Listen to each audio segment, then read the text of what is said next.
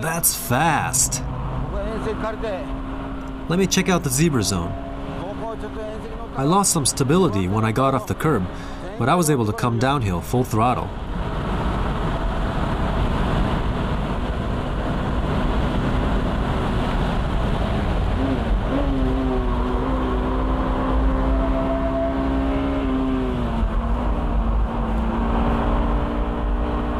Wow!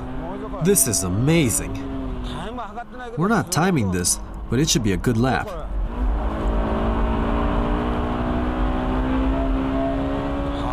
Look how fast this car is.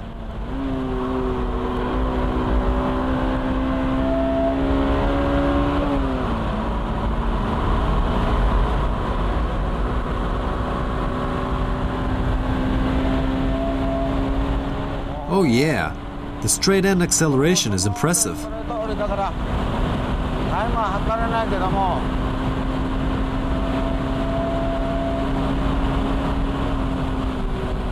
I felt that this car is faster than the normal NSX Coupe and maybe a good match against the NSX Type S. Well, it's a darn shame we couldn't feel what this car can really do on this last straightaway. But we don't have the track to ourselves today.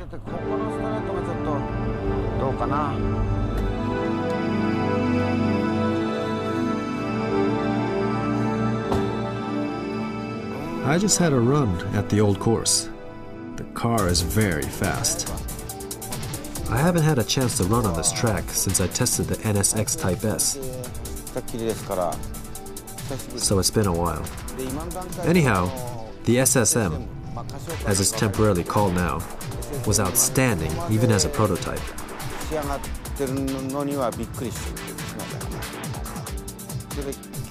We had to run on the track, along with a bunch of tourists today. But I was able to chase around this one Porsche, which looked like it had a lot of modifications done to it, from the suspension to the roll cage. Unfortunately, we couldn't time the lap today, but from my experience of running on this track here in Nürburgring, the car is faster than the NSX, especially in the tight corners.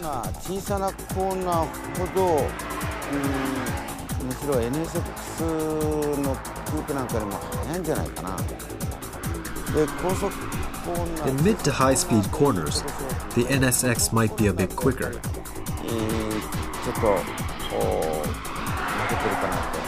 でまだちょっとこうプレゼント同時に I wanted a little more precision and more response from the steering, but it is still a prototype. 欲しいなと両方がカチッと入ってきてほしいなっていうところがありますけども、まあ、いずれにしてもプロトタイプなんでね、えーこの The car's overall performance really impressed me today. 感心します重量的には重い I was told that this car is kind of heavy, 感じない but you don't feel the weight when you drive this thing.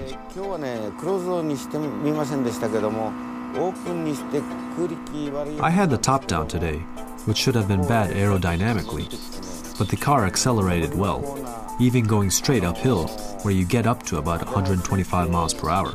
ブラインドの右コーナー曲がってからあー 200キロ近く出てだらだら登ってこう曲がるんですあの屈伸があるんです。I didn't have my eye on the speedometer all the time so I'm not sure but I had to be going around 120 to 130 miles per hour which means that this car matches up well to the NSX